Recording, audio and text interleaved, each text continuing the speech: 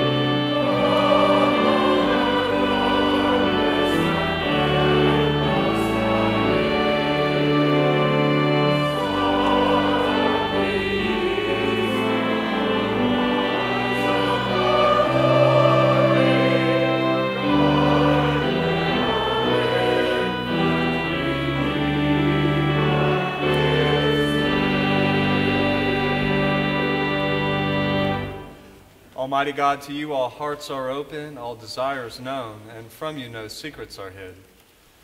Cleanse the thoughts of our hearts by the inspiration of your Holy Spirit, that we may perfectly love you and worthily magnify your holy name through Christ our Lord. Amen. Amen.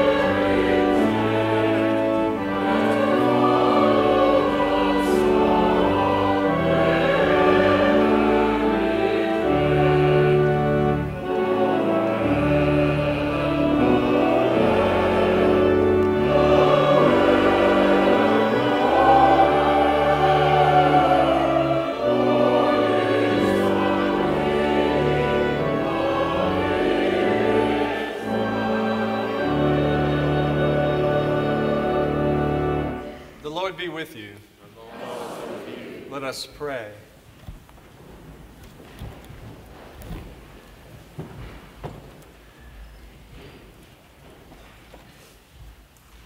O God, by the leading of a star, you manifested your only Son to the peoples of the earth. Lead us, who know you now by faith, to your presence, where we may see your glory face to face. Through Jesus Christ our Lord, who lives and reigns with you and the Holy Spirit, one God, now and forever. Amen.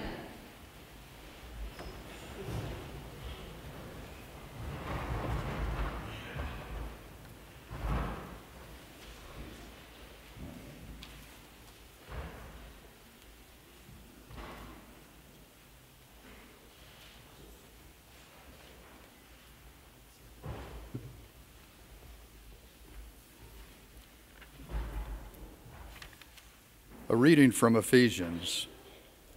This is the reason that I, Paul, am a prisoner for Christ Jesus for the sake of you Gentiles.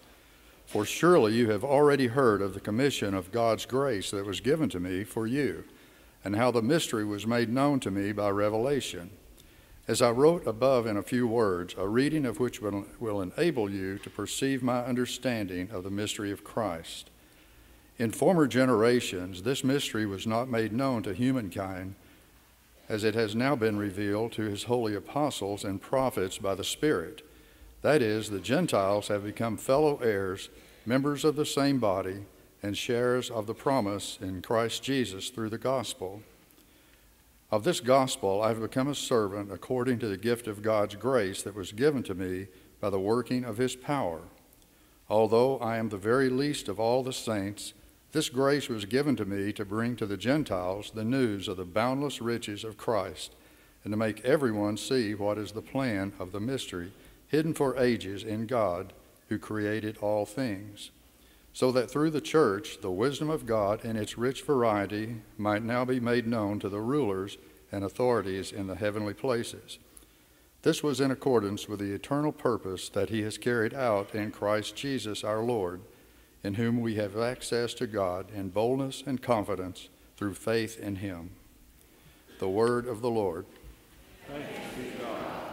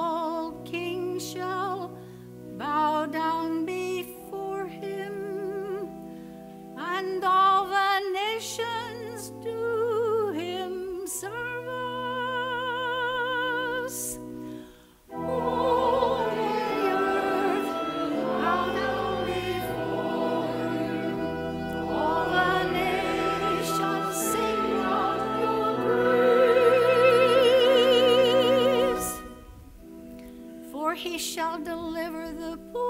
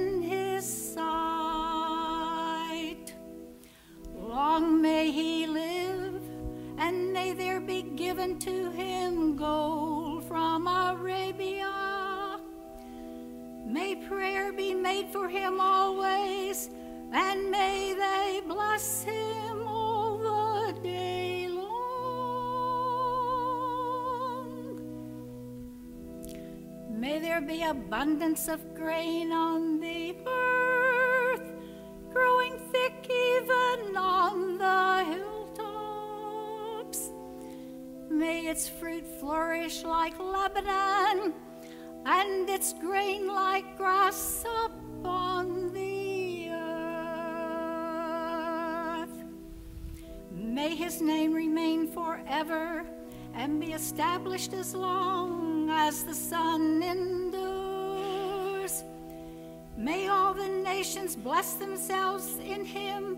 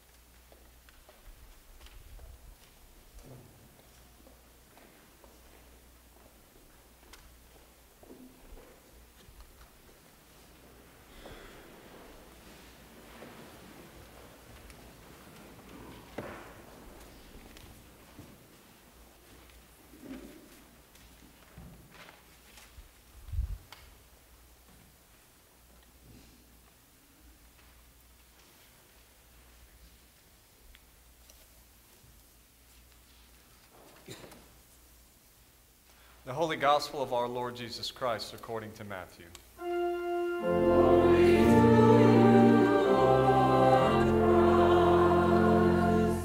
In the time of King Herod, after Jesus was born in Bethlehem of Judea, wise men from the east came to Jerusalem asking, Where is the child who, uh, who has been born King of the Jews? For we observed his star at its rising and have come to pay him homage. When King Herod heard this, he was frightened, and all Jerusalem with him. And calling together all the chief priests and scribes of the people, he inquired of them where the Messiah was to be born. They told him, In Bethlehem of Judea, for so it has been written by the prophet. And you, Bethlehem, in the land of Judah, are by no means least among the rulers of Judah, for from you shall come a ruler who is to shepherd my people Israel. Then Herod secretly called for the wise men and learned from them the exact time when the star had appeared. Then he sent them to Bethlehem, saying, Go and search diligently for the child, and when you have found him, bring, bring me word, so that I may also go and pay him homage. When they had heard the king, they set out. And there ahead of them went the star that they had seen at its rising, until it stopped over the place where the child was. When they saw that the star had stopped, they were overwhelmed with joy. On entering the house, they saw the child with Mary his mother, and they knelt down and paid him homage. Then, opening their treasure chest, they offered him gifts of gold, frankincense, and myrrh. And having been warned in a, in a dream not to return to Herod, they left for their own country by another road. The Gospel of the Lord.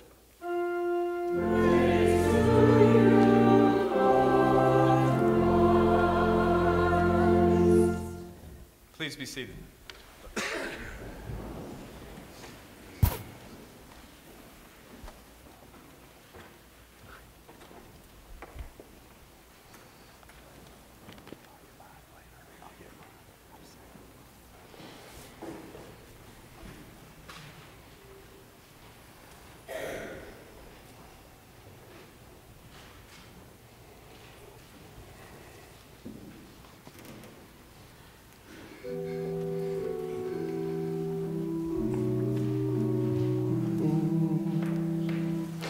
We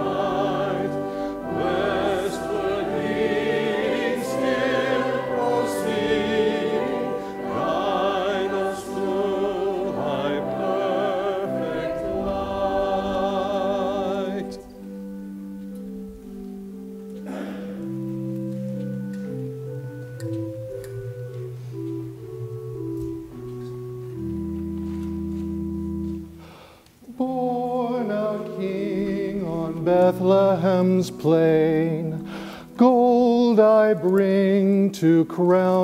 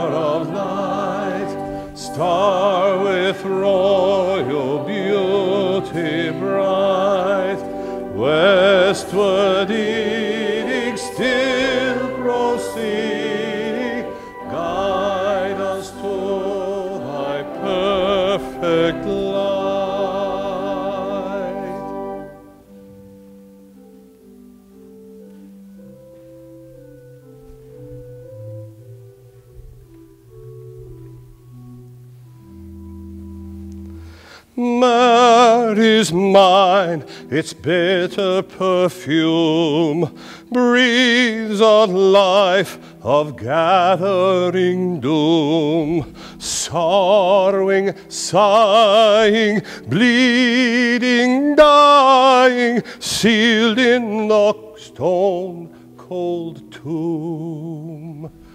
Oh, Star of wonder, star of light, thou with royal beauty bright, westwardly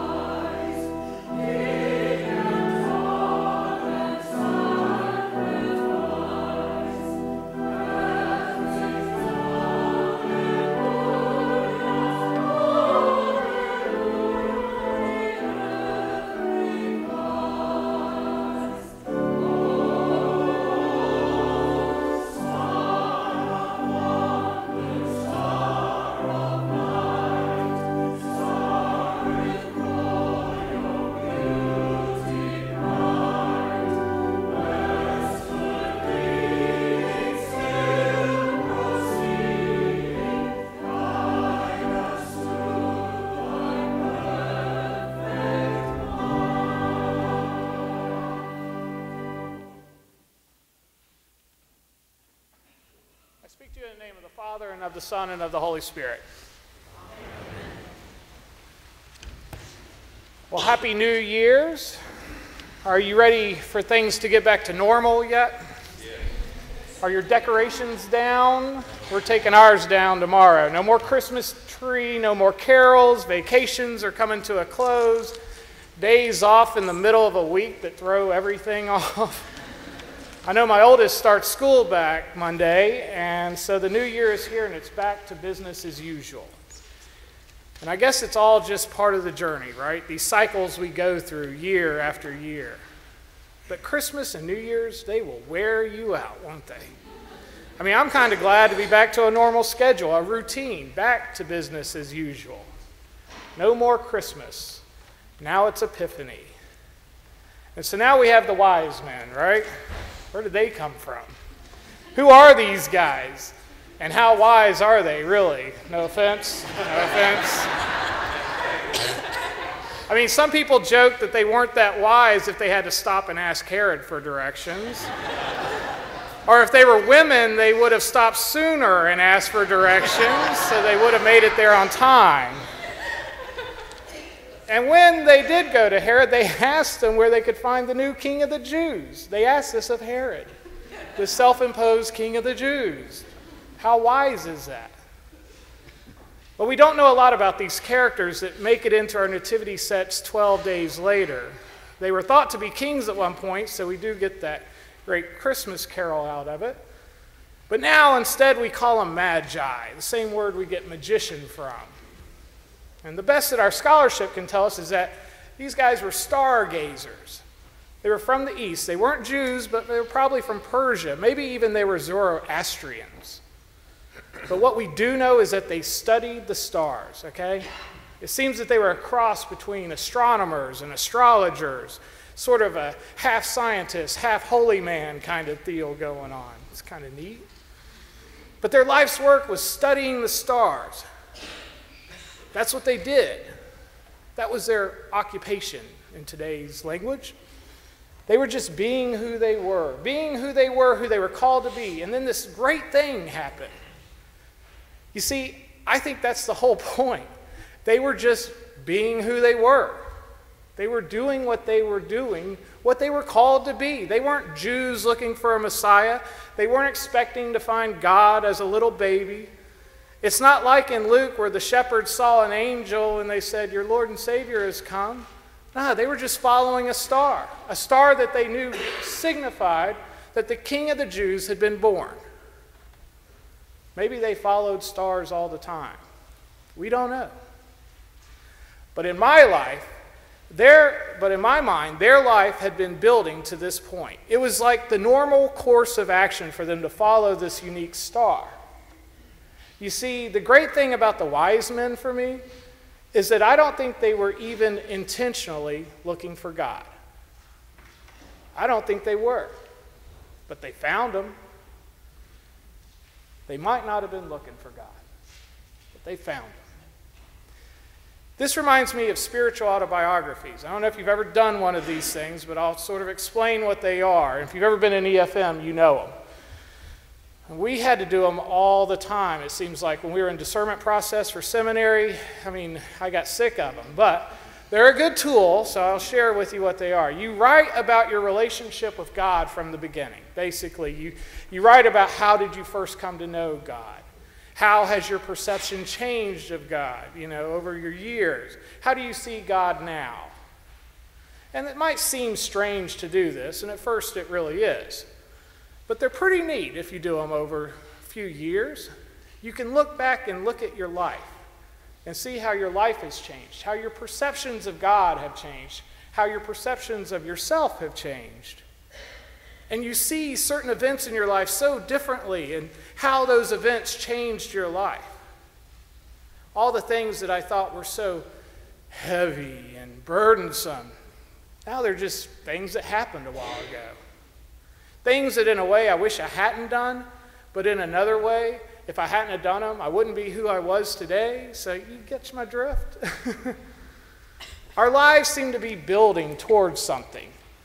And it's sort of what these spiritual autobiographies do.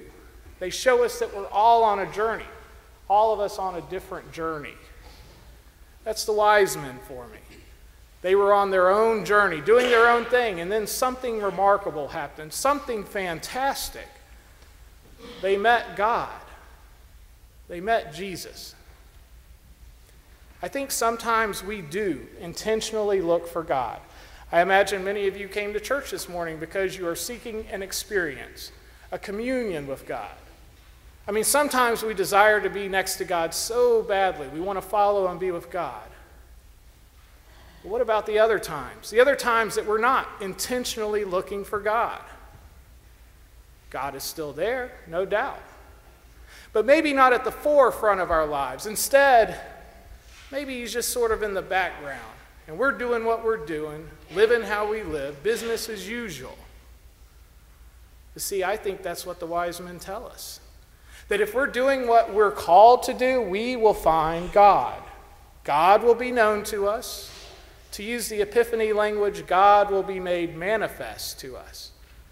And not just to some of us, but all of us. God reveals himself even to those of us that maybe aren't really consciously looking for God. When we're just going about life, business as usual. That's when we often meet God. Maybe like those magi from so long ago, our first calling is simply to be who we were made to be. It could be in Kroger standing in line, at the gas station, at the pumps, or at a Starbucks having coffee, maybe just sitting still and looking up at the beautiful sky. You see, Jesus is really everywhere. He's as near as your neighbor and as far as the deepest, darkest recesses of the cosmos. Look around you. You will see him. You will experience him. And that's what Epiphany is it's those moments on your journey that overwhelm you with joy, make you pause and thank God. And yes, they might even change your life. So I wanted to give you an illustration or an example of an epiphany, and there are plenty, but I think they're pretty personal, really. And I feel like telling someone else's epiphany, well, it's not my place. So that means I have to share mine with you. It's an epiphany that happened to me, very important one to me. And I'm not saying this because I'm so special. Trust me, that's not the point. Instead, I'm trying to make the point that for so long, We've held up these wise men that they only could have this grand experience, this meeting of God. What I'm saying is that you can have this experience. You can meet God. And you, and you, and you, we can all meet God. So here's my epiphany. This was back when I was in sales. Before seminary, I worked for a company called Ecolab. It was a good job, good company. And I was in charge of managing a district here in the southeast that covered parts of five states. So I traveled a lot, all the time, really. It's called windshield time. You know that term? Had a lot of windshield time. Well, I was heading on I 75, heading south toward Atlanta. And I'd been having nudges that I might want to go to seminary, and I was involved in my church, but I still wasn't sure if it was the call that I was hearing or something else. I had, I'd have to quit a good job. I'd have to ask my wife to quit her teaching job. We'd have to sell our house. We'd have to move someplace and make no money. Quite frankly, it wasn't really that appealing. so I'm driving down the interstate, business as usual, thinking about the next sales call I had to make. And then suddenly, in my mind's eye, I saw myself behind an altar, wearing vestments, holding up a priest's host, you know, the big wafer. That was it. It lasted maybe two seconds, but that's all it took. It was terribly powerful for me. I had to pull off the side of the road because it shook me up so much. And when I got to the side of the road, I just had to sit there. I was clutching the steering wheel, tears coming down my face. I must have looked like a crazy person, but it shook me to my core. And I doubt I'll never have another experience like that one again. But you talk about an aha moment, an epiphany, a real life epiphany. It got my attention. I met God that day. In the normal routine of my life, along the journey of my life that had led me to that place, all those decisions I had made, good and bad. You see, all those things that made me reluctant to follow who I was supposed to be were seen differently after that. And it was worth the risk. It has obviously had a huge impact on my life, and that's what meeting God does. It impacts your life. You see, we can all be wise men, we can all be wise women, and meeting God can change your life. So, as we get back to normal, back to business as usual, and you travel your own journey and who you are, I hope you keep your ears and your eyes open and hold on to that steering wheel because it's my experience that just like the Magi, you'll meet God along the way. Hopefully, you won't be going 80 miles an hour down an interstate. Happy New Year.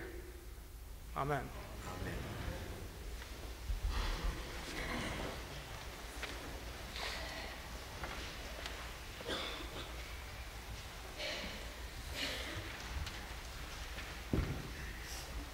Prayers of the people are Form 4, found on page 388 of the Book of Common Prayer. Let us pray for the church and for the world. Grant, Almighty God, that all who confess your name may be united in your truth, live together in your love, and reveal your glory to the world. Lord, in your mercy, guide the people of this land and of all the nations in the ways of justice and peace, that we may honor one another and serve the common good. Lord, in your mercy, give us all a reverence for the earth as your own creation, that we may use its resources rightly in the service of others and to your honor and glory. Lord, in your mercy, bless all whose lives are closely linked with ours, and grant that we may serve Christ in them and love one another as he loves us. This morning we give thanksgivings for the work and ministry of the St. John's Altar Guild for the work and ministry of the Church of the Nativity in Fort Oglethorpe, for the flowers in the chapel given to the glory of God and in memory of Myron and Silva Weiss, and for the flowers in the church given in remembrance of Joyce Wilson Ramsey and Archibald S. Ramsey, and in thanksgiving for Isabel and Olivia. Lord, in your mercy, Comfort and heal all those who suffer in body, mind, or spirit. Give them courage and hope in their troubles, and bring them the joy of your salvation. This morning we offer prayers for Florence Bailey, Samantha Carithers, Bill and Trudy Gardner, Cynthia Gouge, Martin Hunt, Kimberly Curtis, Katie McMillan, Corrine Patrick, Libby Reed, Jeannie Scott, Brian Tillery, John Walker, Dan White, Bo Willian, Virginia Walliver, Amber Coker, Michael Coker, Kristen Farley, and Britt Johnson. Lord, in your mercy, we commend to your mercy all who have died that your will for them may be fulfilled. And we pray that we may share with all your saints in your eternal kingdom. We pray for those who are serving our country in the military, especially for those deployed in Afghanistan, as we pray for the civilians of Afghanistan and for all victims of war. And we pray in remembrance of the American soldier who died this week, David I. Lyon. We also pray for our own deceased, Robert C. Bannon, Dorothy Louise Coleman, Christina Gregory, Laura Ann Root. Lord, in your mercy, Holy God, in you we live and move and have our being. We humbly pray you so to guide us by your Holy Spirit, that in all the cares and occupations of our life we may not forget you, but may remember that we are ever walking in your presence. Through Jesus Christ our Lord. Amen. Let us confess our sins against God and our neighbor. Most merciful God, we confess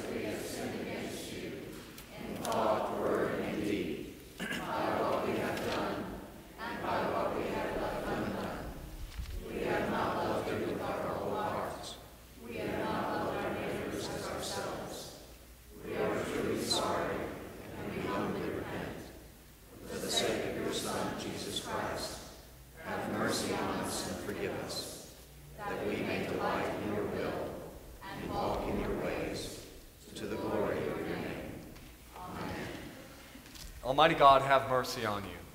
Forgive you all your sins through our Lord Jesus Christ. Strengthen you in all goodness, and by the power of the Holy Spirit, keep you in eternal life. please stand. The peace of the Lord be always with you.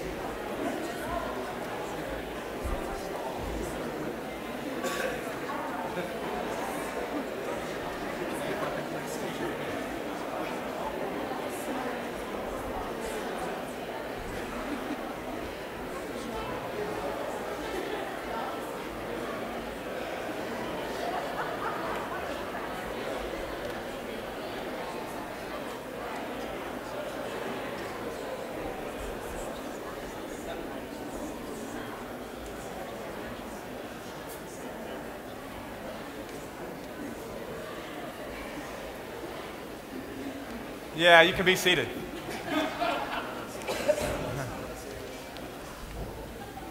welcome, welcome to everyone today. Special welcome to any visitors here with us and anybody in a blue blazer. Welcome. Walk in love as Christ loved us and gave himself for us, an offering and a sacrifice to God.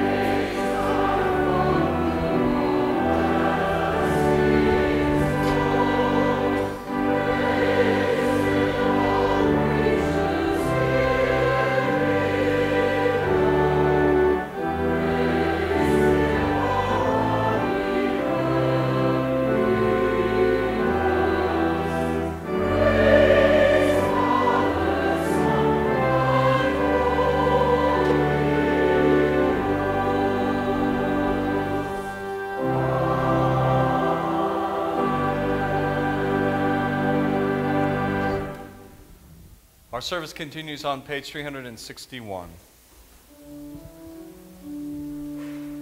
The Lord be with you. And also with you. Lift up your hearts. We lift them to the Lord. Let us give thanks to the Lord our God.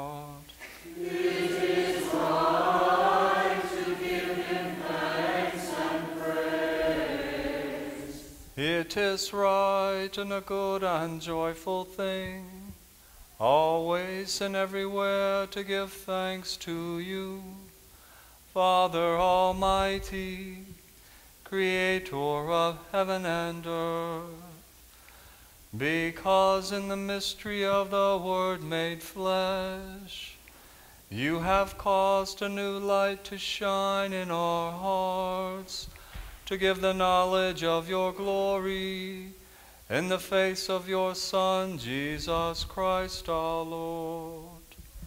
Therefore we praise you, joining our voices with angels and archangels, and with all the company of heaven who forever sing this hymn to proclaim the glory of your name. Holy,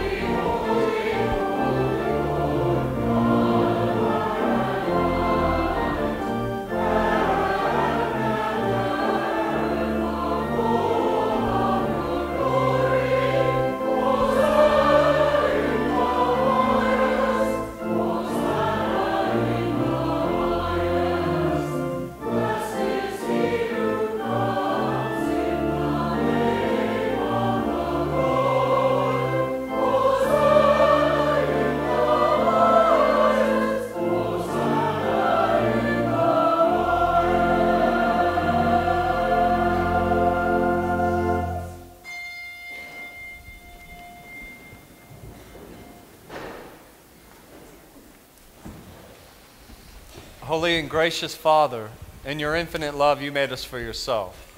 And when we had fallen into sin and become subject to evil and death, you in your mercy sent Jesus Christ, your only and eternal Son, to share our human nature, to live and die as one of us, to reconcile us to you, the God and Father of all.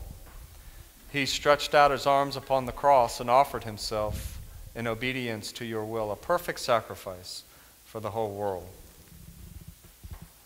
On the night he was handed over to suffering and death, our Lord Jesus Christ took bread. And when he had given thanks to you, he broke it and gave it to his disciples and said, Take, eat. This is my body which is given for you. Do this for the remembrance of me. After supper, he took the cup of wine, and when he had given thanks, he gave it to them and said, Drink this, all of you. This is my blood of the new covenant which is shed for you and for many for the forgiveness of sins. Whenever you drink it, do this for the remembrance of me. Therefore, we proclaim the mystery of faith.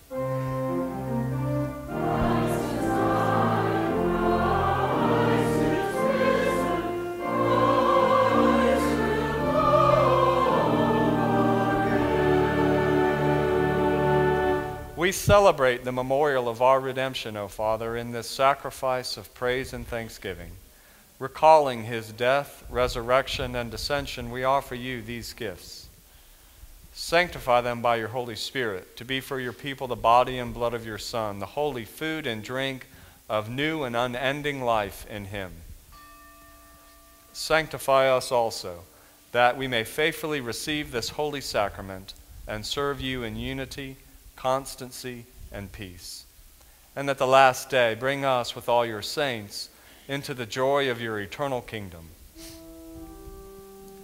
All this we ask through your Son, Jesus Christ, by him and with him and in him, in the unity of the Holy Spirit. All honor and glory is yours, Almighty Father now and forever. Amen, amen, amen.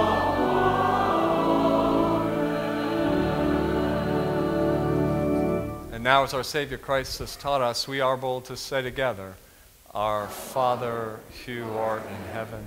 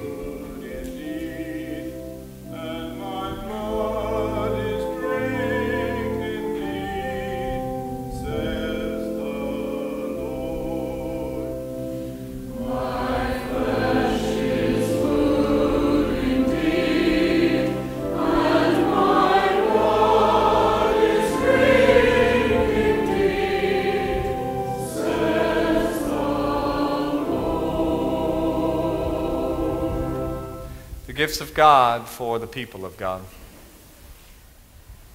Let us pray.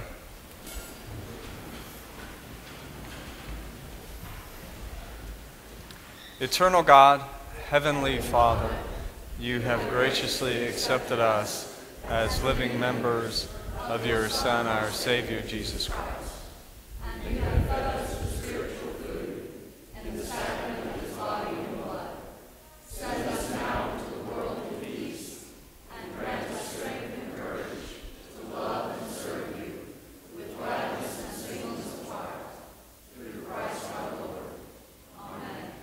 And the, blessing of God Almighty, Father, Son, and Holy Spirit be with you today and remain with you always.